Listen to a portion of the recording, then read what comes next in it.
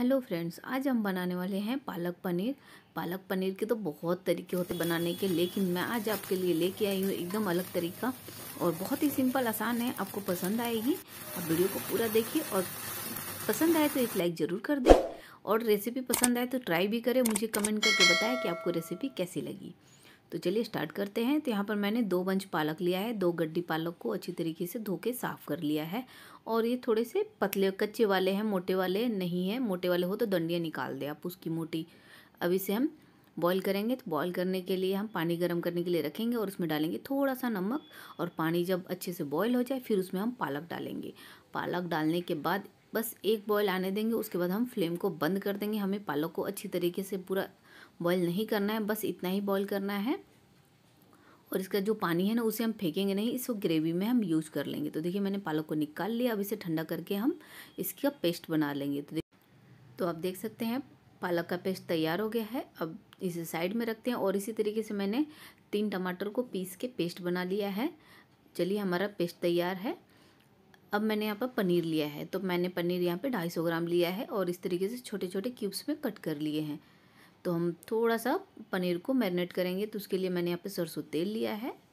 अब इसमें डालेंगे हल्दी पाउडर थोड़ा सा धनिया पाउडर। सब मैंने आधी छोटी चम्मच ली है। थोड़ी सी लाल मिर्ची powder, Kashmiri red chilli powder लिया है मैंने। ये तीखा कम होता है, नमक थोड़ा सा लेंगे, क्योंकि हम ग्रेवी में भी यूज़ करने वाले हैं। थोड़ा सा इसमें कसूरी मेथी लेंगे और इन सबको अच्छी तरीके से मिक्स कर लेंगे। तो देखिए, एक अच्छा सा मसाला बन के तैयार हो गया है। अब हमें क्या करना है? इसमें हम डाल देंगे पनीर। और जो पनीर है, इसमें अच्छी तरीके से मसाले से कोट करके इसे हम रख देंगे पाँच से दस मिनट के लिए साइड में। तो यहाँ पर पनीर को इस तरीके से डाल देंगे। और पनीर थोड़ा सॉफ्ट होता है ना तो पहले आप थोड़ा सा इसे मिक्स करते रहें और इस तरीके से सारे पनीर ऐड कर दें और सारे, इस तरीके से हमें कवर कर लेना है सारे मसाले को। पनीर के ऊपर से हमें लपेट लेना अच्छी तरीके से। तो हल्के हाथों से करेंगे। और ये देखिए, मसालों से अच्छी तरीके से कोट हो गया है। अब इसे हम रख देते हैं साइड में। दस मिनट बाद इसे आगे की प्रोसेस करेंगे। तो दस मिनट हो चुके हैं। अब हमें क्या करना है? इस तरीके का जाली ले लेना इसके ऊपर थोड़ा सा तेल लगा के चिकना कर लेना है। और इसके ऊपर हम पनीर को रख देंगे। और फ्लेम को अभी लो रखेंगे और इसे तेल लगाना बहुत ज़रूरी है, नहीं तो क्या होगा, पनीर ना उसके ऊपर चिपक जाएगा, निकलेगा नहीं। तो ये जो बैंगन का भरता वगैरह बनाने के लिए हमें जाली यूज़ करते हैं ना, ये तो सभी के पास होता है तो इस तरीके से हम पनीर को एक एक करके इसके ऊपर रख देंगे। और एक बार में जितना आएगा हम उतना ही रखेंगे, ज़्यादा नहीं रखेंगे। और फ्लेम को पहले हम लो रखेंगे, जब एक तरफ़ से पक जाए, फिर हम दूसरी तरफ़ से पलट के इसे अच्छी तरीके से सेक लेंगे। तो इससे क्या होगा थोड़ा सा स्मोकी फ्लेवर आएगा, पनीर का टेस्ट बहुत अच्छा आता है इस तरीके से अगर आप बनाते हैं। तो देखिए, इस तरीके से आसानी से तेल लगाने से क्या होगा ना, पनीर इसके ऊपर चिपकेगा नहीं। तो इस बात का ध्यान रखें आप, पनीर को पहले जो जाली है उसे तेल लगा के चिकना कर ले।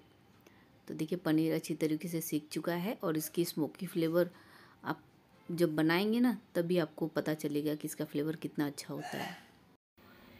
चलिए पनीर तो तैयार हो गया है, अब इसे हम रखते हैं साइड में और हम तड़का लगाएँगे। तो यहाँ पर एक पैन लेंगे और उसमें डालेंगे तेल। तेल थोड़ा गर्म होने के बाद इसमें डालेंगे आधी छोटी चम्मच जीरा और एक तेज पत्ता और फ्लेम को हम बिल्कुल लो कर देंगे। अब इसमें हम डालेंगे बारीक कटा हुआ अदरक। अगर आप लहसुन खाना पसंद करते हैं तो आप यहाँ पे लहसुन भी डाल सकते हैं और अदरक को थोड़ा सा हम भून लेते हैं।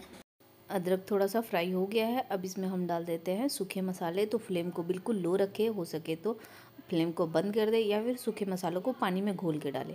तो मैं यहाँ पर एक चम्मच धनिया पाउडर और हल्दी पाउडर मैं आधी छोटी चम्मच ले रही हूँ और मिर्ची मैंने आधी छोटी चम्मच लिया है। आप मसालों की क्वांटिटी कम या ज़्यादा कर सकते हैं जैसा आपको पसंद हो।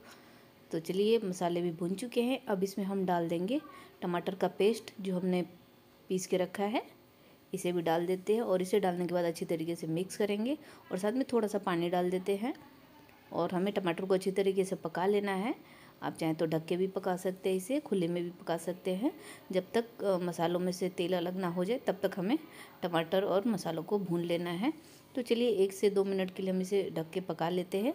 जल्दी पक जाता है, ज़्यादा टाइम नहीं लगेगा।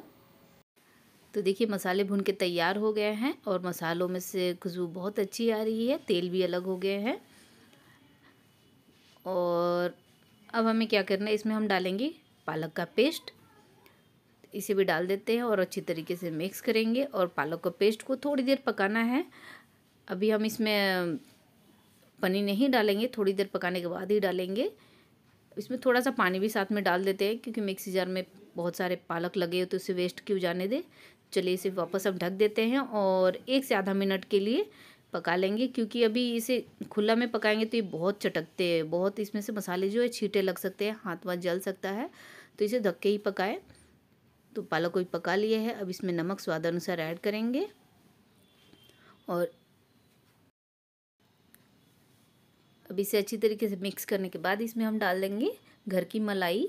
जो घर की मलाई होती है ना, दूध में से ऊपर से निकाल के रखते हैं, वो मलाई डालेंगे। आप चाहें तो यहाँ पे क्रीम भी डाल सकते हैं। तो मैंने यहाँ पे दो चम्मच लिया है। अब इसके बाद इसमें हम पानी डालेंगे। पानी थोड़ा सा ही डालेंगे, ज़्यादा नहीं डालेंगे। हमें ज़्यादा पतला नहीं बनाना है। अब इसमें हम डाल देते हैं पनीर, जो हमने सेक के रखा था। उसे डालकर अच्छी तरीके से मिक्स करेंगे। और मैंने यहाँ पे सारा पनीर नहीं डाला था। थोड़ा सा मैं रखी हूँ, मैं बाद में डालूँगी।